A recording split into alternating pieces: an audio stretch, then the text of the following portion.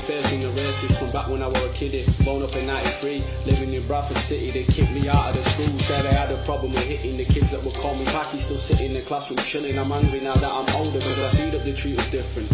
Got me thinking I'm the problem cause they never dealt with these issues.